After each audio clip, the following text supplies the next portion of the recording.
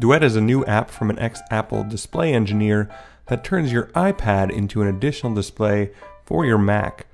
Now, we've seen apps try to do this before, but for the most part, those provided experiences that weren't ideal. Uh, you get choppy video, you'd get lag, you'd get disconnections, and the reason for this was that most of them were running over Wi Fi and they weren't really being treated as the display in the way that the displays you connect via Thunderbolt or Mini DisplayPort or HDMI are. Duet is different. It uses your lightning cable to provide a hardwired connection to your Mac, and it also installs a driver on your Mac to make it recognize the iPad as an actual display.